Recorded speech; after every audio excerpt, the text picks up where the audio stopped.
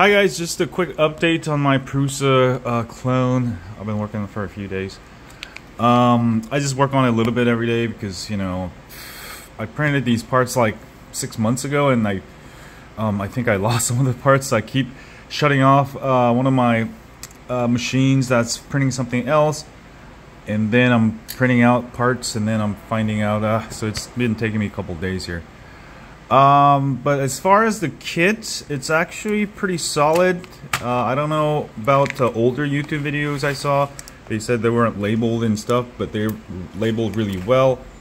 Uh, even the hot end, actually, I compared it to the...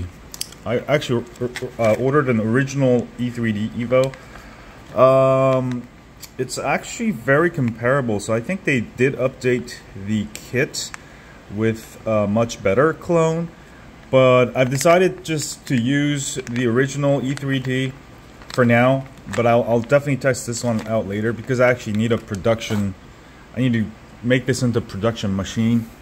Um, and I didn't want to take everything apart. Um, so I just used the...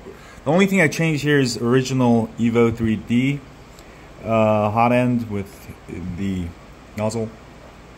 Nozzle time and uh, the fan everything fit perfect. I used the mk3s plus guide. All right guys so i'm i'm gonna try to see if that will work fine. I've got some random ass colors here.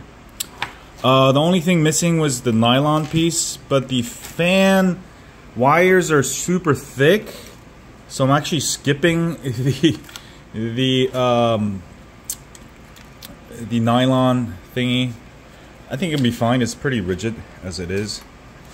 Um, yeah, but almost there. Rails working good. Uh, so far, I don't really see a huge difference between the Prusa. Uh, by the way, I did order a Rat Rig uh, Core 3. I wanted to check it out, but I wanted to... Um, I didn't need a big surface, so I ordered the 200 uh, millimeter version.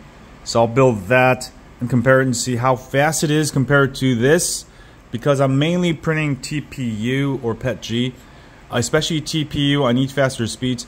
Um, I've maximized the Prusa and I've got uh, you know custom spool holder and everything. It prints pretty fast, but I've seen on YouTube videos where it prints much much faster. So I'm really looking forward to that.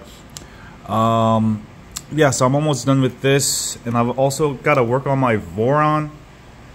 It's just sitting there. I'm halfway, and I've just forgot about it for a couple months.